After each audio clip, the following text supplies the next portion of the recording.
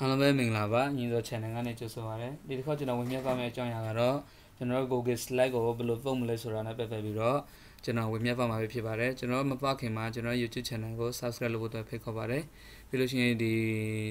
Facebook မှာပြီးတော့ Instagram မှာ follow လုပ်ထားလို့ရပါတယ်ဟုတ်ကဲ့ပါဆိုတော့ကျွန်တော်ဒီနေရာမှာ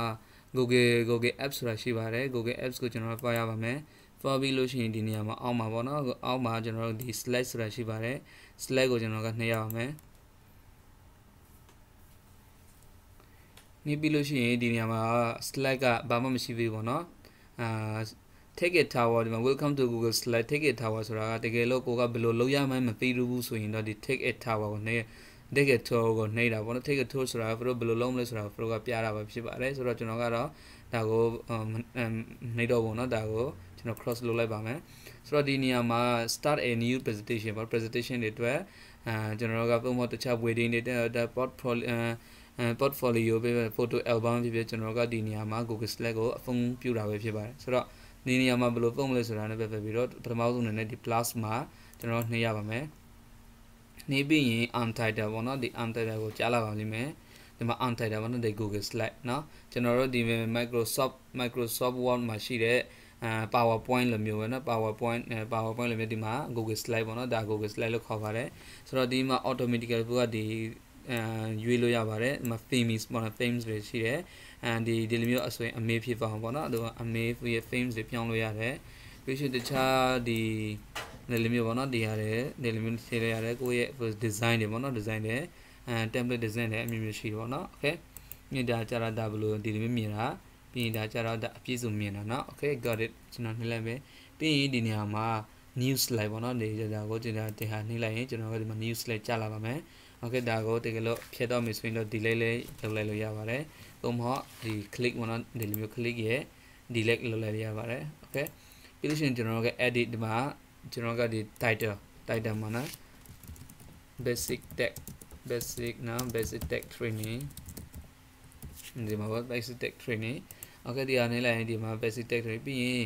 အဲဒီမှာကျွန်တော်က my drive ကိုနှိပ်လိုက်ရင်ကျွန်တော်ကဒီ my drive မှာပေါ်လာမှာပေါ့နော် basic training my drive မှာရောက်ပါလိမ့်မယ် okay ဒီဟာကြတော့ဗာမယ်ဘယ်မှာရှိလဲဆိုတော့တော်တော်များများကကျွန်တော်က my drive ပေါ့နော် google drive ကို file ရပါတယ် google drive မှာရှိပြီးတော့အကုန်လုံးရောက်ရင်လည်းရောက်ပါတာပေါ့နော်ပြီးရင် edit ရှိမယ် edit ဆိုတာကတော့ paste နဲ့ဒီမှာ edit ရှိမယ်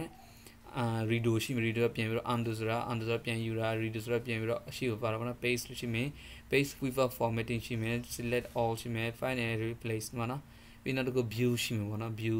အာဒီ zoom လို့ zoom ဆိုတာကအကြည့်လောက်ကြည့်တော့ပေါ့နော်ဒီမှာမှာနေရာဆိုနေရာ zoom in zoom out ပေါ့နော်ဒီမှာ full screen အဲစာမျက်နှာတစ်ပြင်လို့ပြီးလို့ရှိရင် slide တွေပေါ့နော် new slide ရှိမယ် control m ဆိုရင် new slide ဖြစ်ပါမှာပေါ့နော် okay အမှဆိုတော့ control control m ကိုကျွန်တော်နှိပ်လိုက်ပါမယ် control m ကိုနှိပ်လိုက်ရင်ဒီမှာ new slide နော်နောက်တစ်ခု slide ဖြစ်သွားတာပဲဒါကြတော့ control m ကိုနှိပ်လိုက်တာပါ okay အဲကျွန်တော်ဖြတ်လိုက်ပြီဆိုတော့ဒီနေရာမှာ ဒါဒီမှာဗာလေဆိုတော့ဒီမှာ insert ရှိမယ်ဒါပြီး image တွေထည့်လိုက်ရ text box ရှိတယ် audio video ရှိမယ် shade ဆိုတာဒီလိုမျိုး shade တွေပေါ့နော်ဒီမှာဘယ်လို error တွေဒီမှာနော်ဒါတွေပြတယ်ဟုတ်ကဲ့ဒါကြတော့အရင်ဒီတကယ်အဖုံးပြုလို့ကောင်းတယ်ဒီ Google Slide တစ်ခုပြဖြစ်ပါတယ်ဒါပေမဲ့များကျွန်တော်အရင်ကြိုက်တယ်ပေါ့နော်ဒီ